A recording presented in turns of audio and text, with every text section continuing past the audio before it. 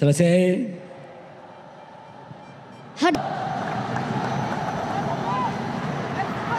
Sama dengan wasit Nur Hadi, wasit Agus Prima Aspa dan juga wasit cadangan Apris. Ya, dari susunan pemain kita lihat akan ada strategi apa yang diterapkan Tuan Ezra Walian. Kita lihat juga ada Esteban Vizcara dan Beckham diturunkan yang diturunkan oleh Coach Sudirman ya. Kita lihat Marco Mota, Yan Mota, Otavio Dutra dan Bray Fatari. Dan kali ini Rico Simanjuntak diturunkan dari menit awal begitu. Leg kedua Piala Menpora 2021 dari Stadion Manahan Solo.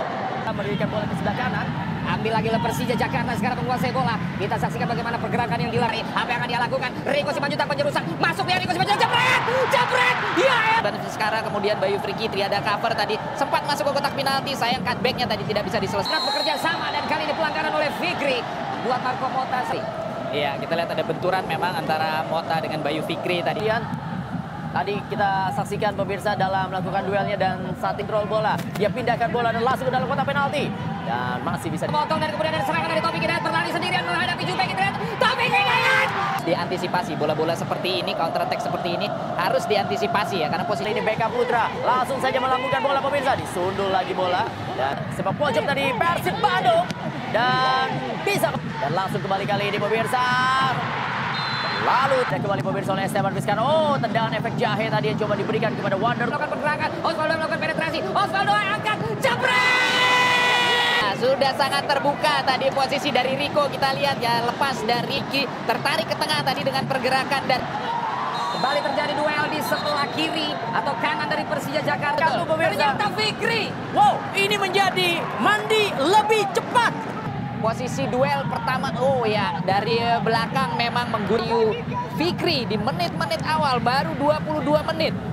Yang kita saksikan sebuah umpan yang baik tadi tetapi berhasil dihempas. Terlalu cepat, oh bahaya kali ini. Direbut kembali oleh Persija Jakarta. Jangannya kembali berputar dia untuk menuju kepada rekannya sementara ada yang terjatuh dan kembali pada Osvaldo Hai. Osvaldo Hai masih bergerak berputar, kita lihat apa yang dia lakukan. Memberikan umpan kolong, enggak. Ada prime diberikan kepada Osvaldo Hai. Osvaldo Hai memberikan ruang dari sebelah kiri pada Roy Chan. Roy Chan umpan Ya, ini dia. Kita lihat pemirsa peluang tinggal diguyur Ya. dari, dari Taufik Hidayat. Lagi dari Prime. Umpan manis lagi dia berikan. Taufik Prime. Iya. Di sini Agus Fauzan dan juga Agus Prima. Dan langsung saja boleh dijauhkan. Eh, eh, eh, eh, eh, Ezra Walian.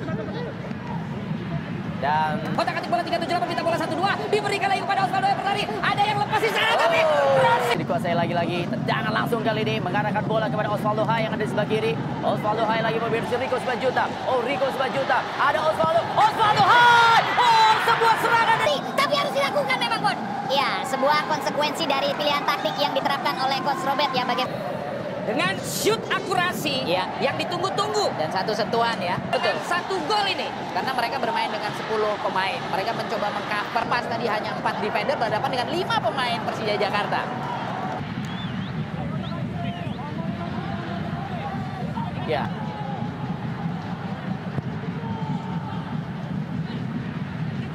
Oh, ada Bright berikan kepada Rico Sebanjuta dan datang kali ini tendangan dipaskan oleh Alsi Marklock. Marklock tahan bola, dia berputar saja, dia pindahkan bola. Oh, langgar. Seret. Ya. Tidak ada eh, respon atau aksi. Kali ini oleh Yan Mota, lambungkan bola saja kepada dua pemain disundul oleh Vika. Tontonan di laga malam hari ini. Sementara kali ini masih coba dikuasai oleh Rico Semanjunta. Ya. Umpan saja, masih Osvaldo Hai. Oh, Bray Fatari, Osvaldo Hai, Bray Fatari lagi. Satu dua. Iya. Cara tiga kali. Betul. Empat terobosan. Umpan satu dua kali ini. Ada Beckham kembali masih menguasai bola. Terjatuh dia dan kali ini ada peluang. Melihat apakah pagar ini mampu untuk menahan tendangan ini. Ancang-ancang jabret! Sekali lagi, Dasein tidak sama dengan Dasolen yang ia harapkan, yang ia imajinasikan. Tidak bagaimana tentunya pergerakan daripada Supari Nasir yang menusuk ke dalam kotak penalti Supari. Untuk melakukan crossing walaupun masih bisa diblok tadi. Ini harus terus dilakukan, bukan hanya Ancang-ancang jebret.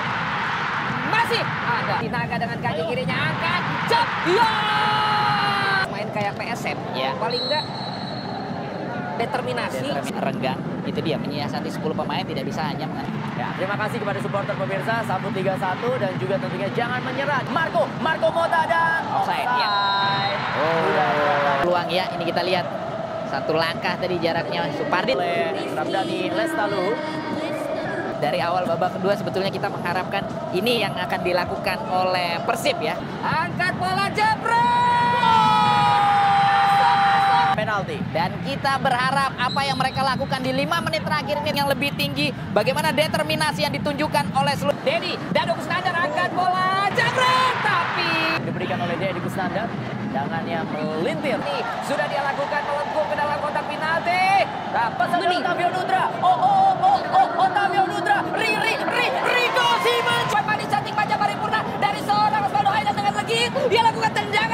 belakang dan itu dimanfaatkan oleh Persija Jakarta lewat Osvaldo Hai. Kali ini Ferdinand Sinaga mengangkat bola jam. Agus Fauzan Arifin telah meniupkan peluitnya. Ini menandakan bahwa berlangsung di stadion Maguwa Harjo dan juga stadion menahan